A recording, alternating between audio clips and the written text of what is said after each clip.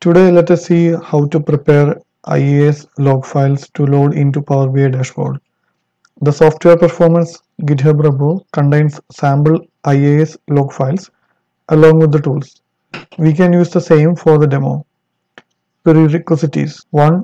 A machine with Windows OS as all the tools used are compatible with the Windows only. Basic understanding of Windows PowerShell log parser utility. Fourth, of course, the Power BI dashboard application. Let us see the steps. The first step is to clone the software performance GitHub repo into a local directory.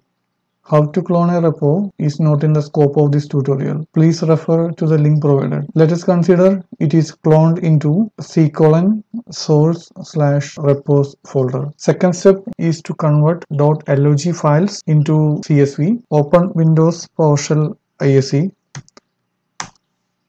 Then navigate to the cloned folder where iis2csv.psv1 is, is available. Once we open the iis2csv.ps1 file make sure the variable path to log parser exe is having the correct path to the installed log parser exe then change the value of input path to the folder where we have the IIS log files. Let us use the same sample files provided in the software performance repository. Run the script by clicking the button or press F5 it will convert the .log files into .csv files we can see those in the same folder of input log files now open the power bi sample report present in the repo.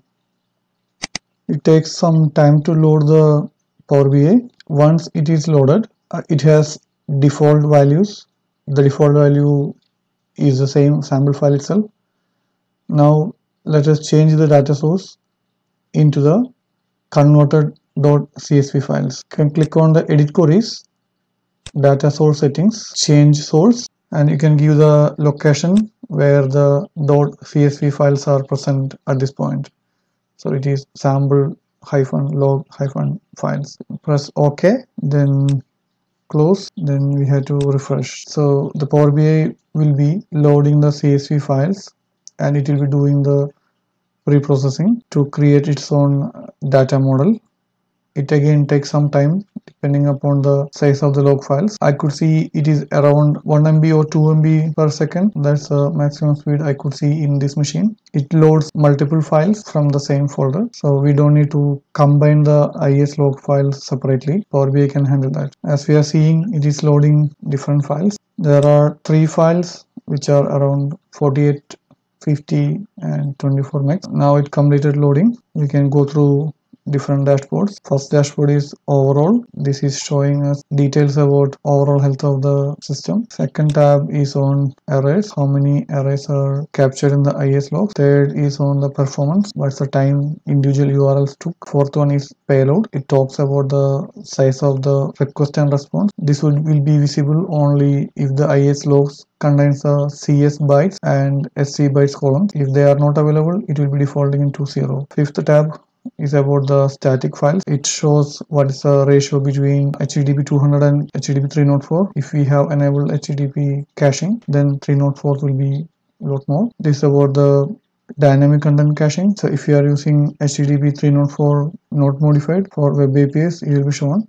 This is log file doesn't have any web APIs or WCF request so this page is empty. This is about the users who are the users use the system. Then the errors and HTTP status code return to different users. This is about the client machines the IP address of client machines who hit the servers. The last tab is about the servers. If you have multiple web servers in load balance farm you should be able to see multiple SIPs this sample file doesn't have lot of web servers just only one.